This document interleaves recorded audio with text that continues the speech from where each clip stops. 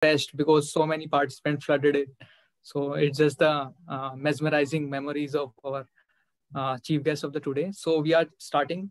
So hello everyone.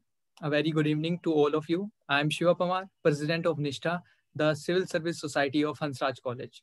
Nishtha Society, founded in 2017, is a unique and innovative initiative of the college. It aims at creating uh, uh, an ecosystem of passionate civil services aspirants to converge and provide an upper hand over other aspirants. Our passionate members, convener, council students have made society a major asset for all the aspirants and what considered by the society analysts as the most esteemed society of Delhi University. Giving wings to our fundamental objective and intent are the interactive sessions, insightful conferences, and astute discussions. And now finally, we have another major and awaited event on our head, which we called Class of Hansraj, a four-day event with four exceptionally good personalities of the nation. As in recent trend, it is clearly evident that the portion of international relation has risen in civil services exams. So keeping this thing in mind, today we have Ambassador Sanjay Bhattacharya sir, graduated from St. Stephen's College and did his master's from Delhi School of Economics. Presently a secretary in Ministry of External Affairs and has served India's ambassador to Turkey and Egypt and India's representative to the Arab League. He will be addressing us on the topic that is trends and challenges in India's foreign policy. I don't think that someone can explain this topic better than a person who himself experienced it and worked on it. As Sun Tzu rightly said, the supreme art of war is to subdue the enemy without fighting it. And I'm sure today all the people are going to learn so many things related to India's foreign policy and India's diplomacy. I, uh, it's an absolute pleasure that Sanjay Bhattacharya sir has spared time from his busy schedule to enlighten us on the topic trends and challenges in India's foreign policy. In the last, we will take some questions from the comment section and they should be relevant. So thank you, sir, and over to you. Thank you very much. Um, uh, firstly, uh, congratulations to uh, the um, Civil Services Society, Nishtha of Hansraj College for organizing this. Um, I myself, as you mentioned, have been a student of Delhi University and I've been around your college and I have very many fond memories of uh, visiting your college and the hostels uh, where we had many friends. Um, today, as you mentioned, I will talk about foreign policy trends and challenges. Uh, since we are short of time, I shall make my comments somewhat brief. Some of it will be personal about my own experiences, and then we will look forward to taking a few questions as well. Uh, I will have to conclude by 5.15 because I do have to go for another meeting after this. So we'll try and arrange it within that time. Uh, firstly, what is diplomacy all about? It's about representing your country. Uh, I see this as a job of a negotiator. Uh, what we try and do is find acceptable options uh, which will expand the opportunities uh, where you can further your interests. In broad terms, diplomacy is uh, we seek to strengthen relations between states uh, we try to promote business interests and we facilitate uh, cultural and people-to-people exchanges. And that's how we engage with the other side. Foreign policy, as you can understand, is really something that emerges from the way your domestic structure is. So your own nation is the, uh, the basis of your foreign policy. Uh, you would remember that uh, more than 2000 years ago, uh, Chanakya had laid down in his Arthashastra some of the basic tenets of, uh, of diplomacy. And this is something that is still very relevant. Uh, he, of course, looked at it in terms of, you know, uh, the enemy's friend is your uh, friend, uh, the enemy's enemy is your friend. Uh, you needed to have very reliable information. There was a honeycomb of structures, and it was actually built in those times. And a lot of it was based on the old concept of zero sum game. So I would have to go to war uh, to inflict damage upon the other in order to have certain assurances for my own state. It was built on power structures. Today, uh, that has been evolved into something that we call about national strength and national interest. Uh, so today we, our most of our foreign policy is based on interactive models. In other words, we look at concepts like reciprocity. Uh, we look at concepts like mutual interest and mutual benefit. And this has given rise to what is now termed as win-win solutions. So apart from the zero-sum games, uh, you know, even till the last century, and even today, there are certain countries that practice that. But if you need sustainable relations, you will have to have win-win solutions. You know, you would have also come across concepts like soft power and hard power, Joseph Nye, uh, who had brought these about, and also smart power as to how you can achieve your objectives. So what we as diplomats try to do is to provide choices, to generate choices so that you can have leverage when you deal with the other country, so that you can have a certain countervailing force, uh, and all in the uh, object of pursuit of your national interest. Now I will move to the that second part, the main part of my uh, presentation today for all of you. And I will identify five broad themes, uh, which are the major trends. And I will narrate to you some of the experiences that I have had as a diplomat over the last 35 years. The first major trend that I want to talk about is neighborhood first you all understand what this means, that your neighborhood is very important. Uh, you know, uh, in uh, 2010, I was in Bangladesh, which is our neighbor to the east, and we were negotiating something called the Land Boundary Agreement. Uh, you would recall that when Bangladesh was created, we had at that time with Sheikh Mujib worked out a certain land boundary agreement, but there were certain pockets which were left unattended. In fact, there were what were called adverse possessions or settlements which were inside India, which belonged to Bangladesh, or settlements inside Bangladesh, which belonged to India. So around 2010, we started a process where a small team, which included the current Foreign Secretary, Harshvardhan Shringla, and myself on the Indian side, with Survey and many other uh, officials and colleagues from the Bangladesh side, we actually went, walked across the border and we identified these pockets and found out a solution. So in 2011, when Manmohan Singh visited Bangladesh, we signed the land boundary agreement. Now, what was this based on? You know, I talked earlier that uh, there are these win-win solutions that you must have. Your neighborhood first policy is something that cannot be guided by a zero-sum game. You know, it just doesn't work in your neighborhood because it will lead to friction and dissatisfaction. And that is something that you would definitely wish to avoid, uh, particularly in your neighborhood. So what we do is we try and have a dynamic solution which is interactive, which engages both sides, looks at the interest, and sometimes you have to have a more generous approach because what you at the end of the day wish to have is that you wish that your neighbors become partners in your development agenda because as i said foreign policy is something that evolves from your internal strength. And your own development agenda is something that will be critical in this. And if you have your neighbors who are part of that, you will actually benefit a lot. And so sometimes reciprocity might even have to be sacrificed. So you might wish to give more in favor of gaining more leverage in, the neighborhood. The second major trend I want to speak to you about is called the Indo-Pacific. I don't know if you've come across this, but this has become a very major trend, which will continue to be with us for the next several decades.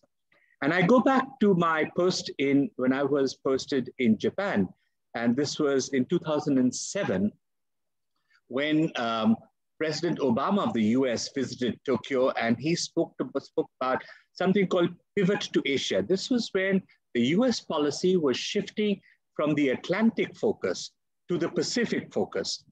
And this was something that led to a new understanding of how relations within the Asian uh, continent and its relations with the rest of the world would be, uh, would be gathered and how they would develop. You know, in the past, we had something uh, which was for our ASEAN, which was called uh, the Look East.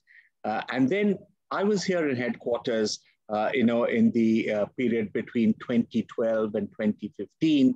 And at that time, we evolved from the look east policy of India to what then became known as the act east policy. And in some ways, I want to tell you this, that that particular policy has extended into what is now known as the Indo-Pacific. You're familiar that, you know, in the uh, centuries past, uh, we've had very historical ties with Southeast Asia and with East Asia. Uh, I have seen uh, Hindu temples in China, uh, temples of Shiva in, in Quanzhou, for instance. And of course, you're all familiar with the huge uh, Indian and Buddhist presence uh, that was there across Southeast Asia, you know, in Indonesia.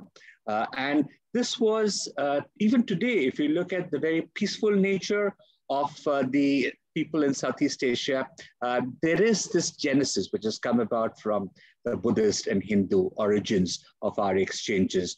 Um, but what Look East had done when this had been evolved in, in the last century was to add an economic dimension to a very close cultural connection that existed between the people. And Act East was to take this, these interlinkages even further to build a certain political security uh, dimension to our relations. And these were largely Indian initiatives. We were working very closely with the countries of Southeast Asia and East Asia to try and develop this. So what we then find today, which is a rising trend, which is the Indo-Pacific, it largely came out of actually Western thinking. Uh, as I said, Obama's pivot to Asia, then there was Japan, uh, and Prime Minister Abe had talked about the confluence of the seas of linking the Indian Ocean with the Pacific Ocean. Uh, and, you know, in some ways people see, is this like a counterweight to China? And perhaps, you know, it's, it's a confluence of democracies. Uh, in our opinion, the Indo-Pacific is an open and inclusive uh, rule-based system. Uh, and it is essentially something that provides the basis for exchanges, both economic as well as political security. And we've had our own understanding. Uh, I wonder if you remember that when Prime Minister uh, went to Singapore in 2018, he had outlined the concept of SAGAR, which is security and growth for all in the region. And this is how Asia would be linked further towards, towards Africa as well. And it, um, uh, this is something, uh, the Indo-Pacific is something that has gained a lot of momentum in recent years. And you will find supporters of the Indo-Pacific idea, uh, not just amongst the countries of the region, but also in France, Germany, UK, uh, the European Union has come out with a paper on this. Uh, this has also led to a certain grouping called the Quad, which is a confluence of India, Japan, US, and Australia. And we've had many interactions on this. And so Indo-Pacific, you will find is something that will uh, gain in strength over a period of time. The third one is that today foreign policy is one in which your strategic security interests also have to deal with non-state actors. So normally diplomacy is that you deal with states, uh, with other foreign countries and the states and their governments. But today, the way things have happened, uh, you have to deal with non-state actors. And this became very evident in my last two assignments when I was ambassador, uh, first in Cairo and then in Ankara. We saw the unrest in the Middle East. We saw how fundamentalism had grown and how terrorism became a tool for, uh, for this particular fundamentalism to expand. Uh, terrorism, of course, is uh, a menace, and but the fact is that terrorism exists and we as states have to deal with it. Uh, terrorism in our neighborhood has been there for a long time, and we know how Pakistan has been involved in it for a very long period of time. But if you look around the world, there are many manifestations of terrorism. These are done by non state actors, but very often they have the tacit understanding and even support of states. And so it is very important both at a political and official level to have greater coordination and cooperation. And so a lot of our efforts today uh, in terms of our security structures is to have discussions with other states about particularly about terrorism, about non-state actors. And terrorism manifests itself in many ways. There are cross-border crimes which happen, which could be of financial crimes, which could be of narcotics, which could be of the illicit smuggling or trafficking of human beings. And it manifests itself in many ways. And terrorism, which is the, the most violent form, of course, is one which is something that we all seek to work together. And there are various mechanisms in which we do this. Uh, but the essence that I was trying to say is that today, uh, states also have to take into cognizance non-state actors in dealing and in advancing their foreign policy. The fourth broad trend that I want to bring to your attention is this dichotomy between globalism or globalization and protectionism, which is which are two dichotomous, but they're happening at the same time. I remember I was in Brussels at the turn of the century. I was dealing with the European Union affairs. And at that time, we had started a discussion on having FTA with EU, which is still under discussion. But the idea that trade and investment are so important became evident to us because you would recall that in the early 90s, we had started a process of reform and liberalization, which made our economy more integrated and more globalized. And in order to do that, we had to engage with our various partners today. This contradiction that I was wanting to tell you has become very apparent today, uh, particularly uh, if you look at the COVID pandemic, uh, where many countries are going into a shell. But this has got a longer history. What has essentially happened in many ways is that democracy was one in which many minorities became disenfranchised. And so when they became disenfranchised, they then either became rebellious or they became uh, militant. The same thing was happening with the advance of capitalism as well. Capitalism, as you know, was a mercantilist approach, and you had the advance of capitalism going across continents where you would build up supply chains, you would build up markets, you would have resource bases, you would set up production centers. But at the end of the day, you were promoting your capitalist interest. But the advance of capitalism, ironically, led one uh, in which society saw greater inequities come up. And the inequities, as they expanded, again marginalized certain segments of people. So as I was saying, there is this interplay between the domestic and the, and the external. Um, what we saw that this marginalization uh, led to demands or calls for protectionism.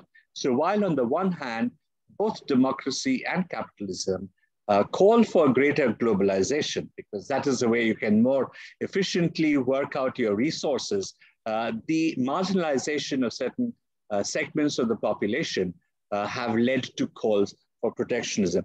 And today, in a sense, if you look at the new idea that we have, which is of Atmanirbhar Bharat, in a sense, which is an advocation of domestic policy extending externally, Atmanirbhar Bharat is not an inward-looking policy. It's not something that, of an autarkic world. So we are actually going to be much more closely integrated with the global system, while at the same time making our country much more competitive and efficient internally, so that we can become more efficiently integrated with the rest of the global system. Uh, the last, uh, the fifth trend that I wanted to talk to you about was about uh, new and emerging technologies and the manner in which they will guide not just domestic policy, but also foreign policy. This is your ICT revolution, your fourth industrial revolution, the way data is managed and how artificial intelligence and, and um, you know, these things will become more and more a part of your life. Uh, I, again, I go back to the time when I was in, in Japan. Uh, you would not be surprised that we had as many as 500 uh, Indian scientists who were working on various joint projects or who were with various laboratories over there. This is a trend that we see also in Germany, Israel, and of course, you are quite familiar uh, that we have a very large talent pool that is there in the United States and different parts of, of Europe as well. So why is this happening? Because today we are in an era of disruptive transformation. And the role of technology is vital. So we see today that the life of new technologies is getting shorter, but their outreach to the people, to the population, is wider. It's becoming wider and wider. And innovation in this particular scenario plays an extremely important role because you constantly have to adapt technology, the modes of delivery. So when you see startups uh, becoming unicorns, uh, you know, incubation centers are being promoted. It's because you have to find better ways to connect with the target audience and so that you can optimize the market opportunities. And in this uh, data and the digital world will be the more preferred ways in which uh, the, the new world will communicate with one another. And I believe that in this, we have a huge advantage because we have the advantage of the demographic dividend. Like you, we are a, a country with a very large population of youth. And youth are the ones who are leading this particular movement of this uh, disruptive transformation with technology as the core, in which education skills are really very much more important than most other things. And therefore, uh, we do need to kind of continue and proceed with this. Uh, today, for instance, my engagement with a country that I deal with, Israel, uh, a large part of that is really focused on how you can promote incubators, how you can link up incubation centers, how you can actually have hackathons, how, like we did one uh, the other day with the ASEAN, how you can promote innovation, how you can uh, encourage venture capitalists to get involved. And in many ways, this is what diplomacy is doing today. So to conclude, let me say that, you know, as I had said earlier, soft power is very important. But at the end of the day, if you want to have an abiding effect, you will need hard power. National strength is vital because unless your country is strong, you cannot really have a very cogent uh, diplomatic approach. Uh, and as I was saying just now, we are in a very, very dynamic and transformational era. So we have to be very agile. There is call for reform, including in the multilateral systems. And these are things that we have to focus on so that there is greater uh, interaction between all these agencies. And in this, I believe India is in a sweet spot because we are viewed as a nation of values and principles and, and, and also as a trusted friend by all countries across the world. However, we need to build upon our capacity to deliver. And this is also on issues or on projects. Uh, but I believe that as India grows, and today we are, as I said, uh, a country that is growing much faster than many others, uh, we will have uh, this particular ability expanded even further. And during the pandemic, the COVID pandemic, which we're all going through, uh, you would have noticed that India became the first provider or a first responder, uh, including of COVID, of corona vaccines, for instance, to different parts of the world. And that is something that has greater currency. I understand many of you are probably also preparing for the UPSC civil service examinations.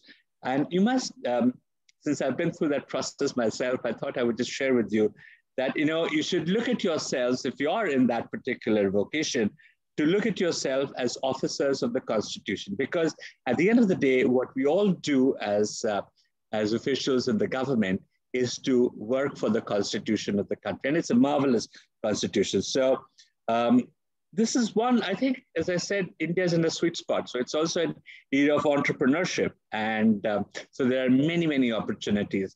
Uh, but if I were to kind of be at the juncture like you are, looking for a career ahead, if I had to make a choice, I've had such a great time as a diplomat, I would uh, probably make that same choice once again. Uh, so I wish you all the best. Um, and I will leave some time so that we can have at least a couple of questions. Thank you. You indeed explained every topic and aspect in a very prolific manner. We received many questions, but uh, due to the constant of time, we will be able to take only few questions. Uh, sir, first question is related to a country where you served as an ambassador of our country, that is Turkey. As we have seen uh, our relation deteriorating at another level with Turkey. Uh, recently, uh, Prime Minister Modi cancelled his visit to Turkey and uh, President Erdogan in Pakistan's assembly said that uh, we will win on Kashmir issue as same as that Mustafa Kamal Pasha won the Gallipoli campaign. So, sir, what is the uh, like? How can we improve our relation, and what is the re reason that it has deteriorated that much? Maybe what you could do is you could also put uh, a second question, and I'll deal with both together. Okay. Okay. Uh, sir, next question is related to a Middle East country, that is Iran. That Iran has become a very major critic of India and drawn international criticism at various international levels. And uh, so, sir, do really Iran have that much power that they can isolate us in Middle East or in the Islamic bloc they have created? Okay. So let me take these two very quickly. Uh, firstly, about Turkey. Uh, you know, we have very historic relations with Turkey. And, and you must realize that Turkey is really an amazing country which has had uh, remarkable economic growth in the last three decades. Uh, I remember when I was leaving Cairo for Turkey, I had noticed that 30 years ago, uh, Turkey and Egypt, as you know, have similar populations, uh, but and they had similar GDP at that point of time, three decades ago. But today, uh, the GDP of Turkey is three times the size that of Egypt. Of course, the last couple of years have been a little bad for the Turkish economy and they've slipped a bit. But essentially, what they've done is they have done an excellent job of getting their economy in place and having great growth. They're also very closely plugged in with the European system. They're also a member of NATO. And we have very close relations on many fronts. It is true that there are differences in any relationship, and we have certain differences with Turkey as well. But I believe that when one works on the commonalities that we have, when one works on the mutual interests that we have, one can overcome many of these differences. Uh, so far as uh, Jammu and Kashmir is concerned, and I was there when uh, you know 370 and others had been enacted, uh, I had found a great degree of receptivity amongst the people of Turkey. So you must realize that the people of Turkey have always uh, been great friends of India and they continue to be great friends of India. So if there are certain differences that are there because of certain personalities, one should not feel dissuaded about it, but should continue the, the path. About Iran, you know, um, I, am a little surprised because uh, Iran is actually a very old traditional friend of India. Uh, and India and Iran have very, very close relations over centuries. And our relations extend into various different aspects of our life. So I would not say, I would not put Iran in that category as you were describing. But uh, Iran has also been through various uh, uh, uh episodes in, in its recent history. Uh, but the uniqueness of India, and that is what I was saying, that India is seen as a trusted friend by most. And that is the case with Iran as well. So Iran sees India as a friend. We see Iran as a friend as well. So, I mean, between Turkey and Iran, I would say both of these countries are those that we would wish uh, to have great friendship with, and there's huge opportunity. With Iran, I don't take your classification that you expressed, but uh, we we actually have a very, very strong collaborative relationship with them. We can take another two questions quickly.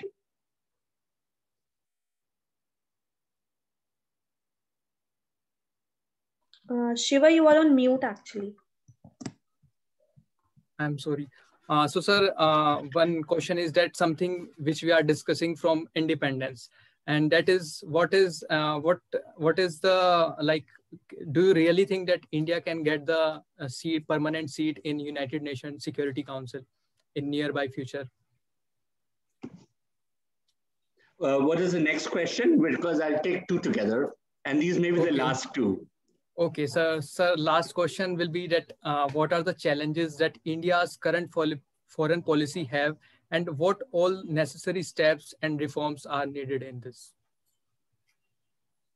Okay, on, on challenges and reforms, you know, I think um, I basically outlined five broad trends and challenges. And I think, you know, each trend is also a challenge. It's an interactive process. So uh, diplomacy is not like a one-stop game. It has to constantly uh, evolve and respond to the situation as you see around. So everything is a challenge. Everything is also an opportunity. And that's the way we deal with it as professionals. Uh, you also asked about the UN Security Council. Let me say, you know, when the UN Security, when the UN was formed, India was uh, an original member, as you know, and this was even before India had um, had got the British out. Uh, of the country. Um, but the manner in which the UN and many of the other international organizations were, were structured were really like uh, a relic of that particular time of the post-war uh, period. And they reflected the priorities of the post-Second World War period. And it also reflected the alliance systems that were there at that time. And it kept out people who were either uh, seen as the, the other side as the enemy, like Japan or Germany, or seen as the underdog, which were the colonial uh, uh, remains. And so for a very long period of time, uh, many of these countries, which belong to the others, uh, did not get adequate voice. But that's what I was saying, that in this transformational era, there is now greater democracy in the world, uh, and this process of democratization now has to go beyond just the countries themselves into the multilateral and international institutions. And so the UN, of course, is, is at the center point. The UN has been incapable of reforming itself in the manner that it should have. That is not to say that the UN has not done great work. They have done great work in many areas in terms of security, in terms of, uh, of development, uh, and in terms of driving the agenda towards the Millennium Goals, the SDGs. So they have done a lot of good work, but I think on the basic structure of how they would respond to the new challenges and the emerging challenges, the UN has been inadequate. On the important aspect of the UN Security Council, which in many ways dominates the UN, although there is a General Assembly, which is the more uh, democratic setup where everyone, every country has the same vote, which is the way democracies uh, run, uh, unlike the UN Security Council, where there's a veto. The UN Security Council, because it is a club of people who have the power, has been more reluctant to actually change. Uh, and there have been many attempts uh, uh, across the years to try and bring about the reform.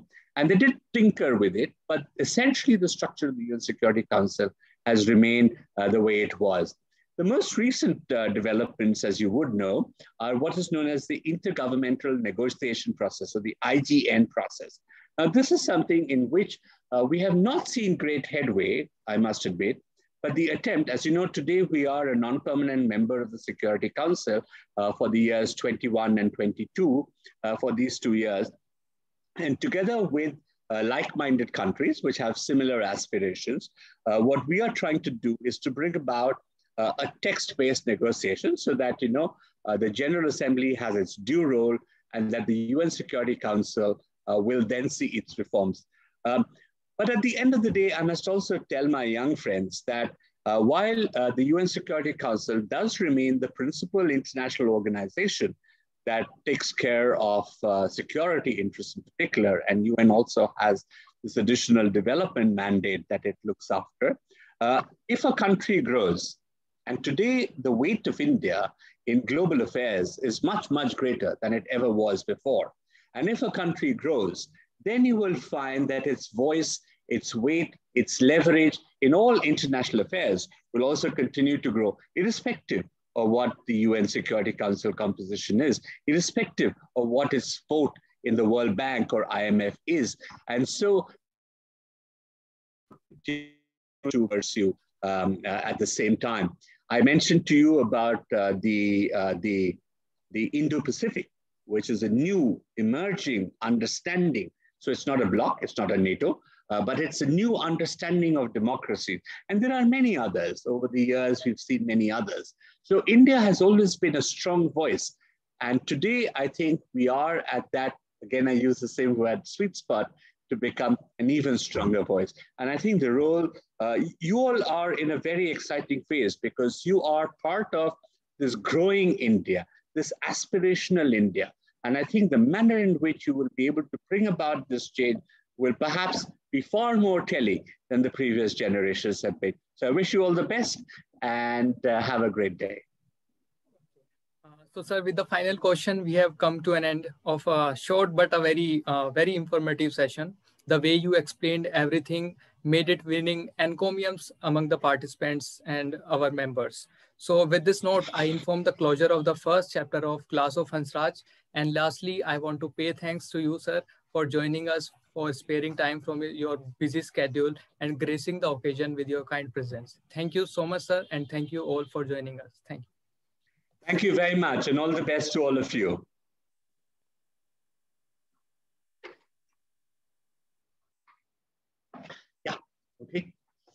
Fine, let's run. Everything is on.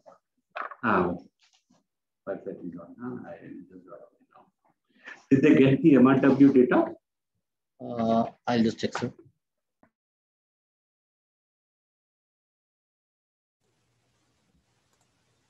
Uh, hi guys, uh, you can fill the feedback form provided in the chat box as well as you can follow us on, on our social media handles.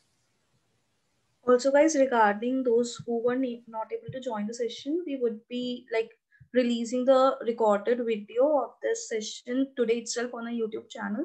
So you can go and subscribe to the channel and uh, like those who were not able to join can like go through the session at the glance. If you have any further queries, you can write in the chat box and we would try to answer them